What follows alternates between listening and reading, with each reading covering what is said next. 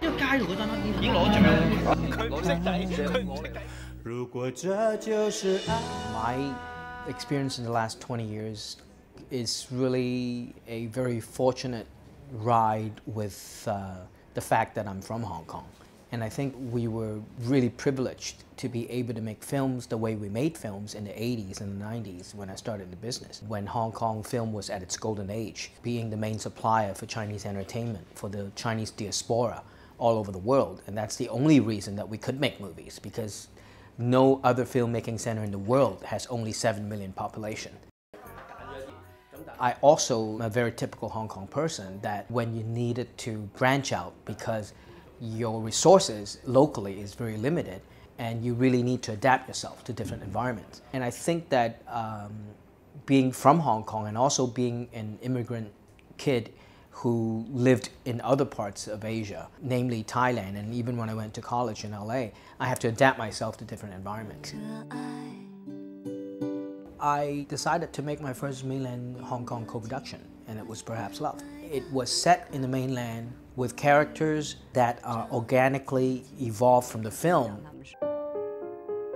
I've been able to package my film, promote my film in a way where it would look like a big movie that would attract audiences. But inside all these big canvases or package or promotion or star power, it always lies a very small, intimate, and personal story within the movie for myself that could enable me to, to have the passion to create and to make it. So I've always been walking that fine line between uh, personal and the commercial. And if you call that the Hong Kong way, which I believe that's also the Hong Kong way to an extent. So, from a director that was used to more intimate city romance or comedy, I need to adapt myself. And then I make my movies bigger and bigger by injecting the musical elements into a love story by way of perhaps love. That was my biggest movie then. 你好，And then I have to make Warlords, which was really an historical war epic. But at the same time, no matter how big your movie is, deep down it's still a very personal story to me. After I've done Bodyguards and Assassin as a producer, I got to know Donnie Yen very well.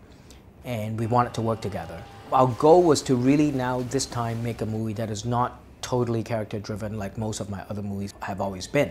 For me, Swordsman is really an experiment on my part as a director to go into the waters that are not very safe myself because I've always been stronger as a storyteller rather than as a camera stylish action director. I switch my hat back as a director instead of a producer. It always helps for you to tread unsafe waters because to me that is the only way that keep me on my toe and keep me insecure and keep me nervous and that's really the only way I could work you know in every every film you try to inject a certain element in it that you've never dealt with before and that gives you a certain edge and certain freshness because you've never done it before so it's exciting you might make some mistakes but at the same time you do have that passion or that uh, challenge that makes you keep wanting more. And, and I think as a director, that's the only thing that keeps me going. I would still say that Hong Kong is a very special place. I know people moaning and groaning and grumbling about the fact that we're not where we used to be. And I kept telling them that we should count our blessing because this is what we should have always been. Today, even working with China, if you look at history books, it's like never before has any small territory in the south of China been able to influence culturally the whole mainland China or even the whole Asia with that kind of impact and power. I think our generation should really count the blessing.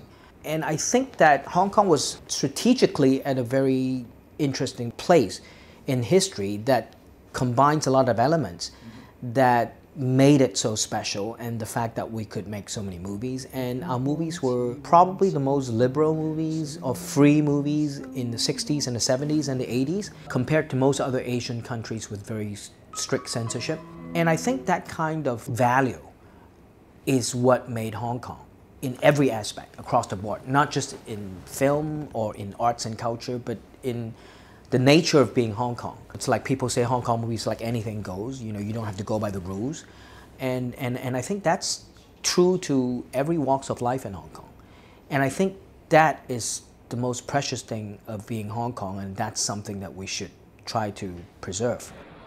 Filmart has built up from when we were all very skeptical about the reason for it to exist, you know, 10, 15 years ago. And it's a platform for myself because I do have a sales company and distribution. It's a very good platform to meet international buyers and business partners. It's been doing very well in the last 10 years, I think. It's good to hear that there are a lot of these new exchanges between Hollywood and really more importantly China. Mm-hmm. And Hong Kong will still probably play the middleman role that we've always played, you know, between China and the rest of the world. The world industry are all looking at China, not really for the Asian content or for the Chinese content. They're really looking at recreating the miracle that uh, that some of the big blockbuster had in China, like Avatar.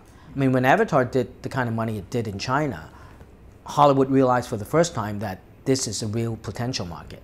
And just like when I finally decided to go to China in 2005 with Perhaps Love, I think Hollywood think that this is the right time.